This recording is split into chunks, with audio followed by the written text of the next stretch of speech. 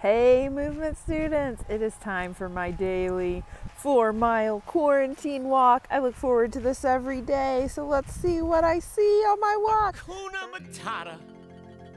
What a wonderful phrase. Hakuna Matata. Ain't no passing craze. It means no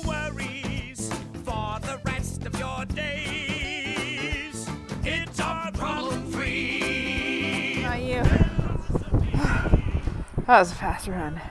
All right, so here's the first stop.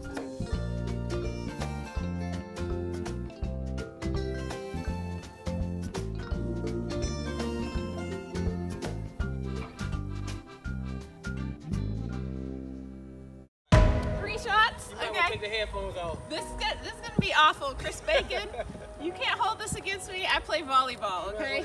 I'm not a basketball type.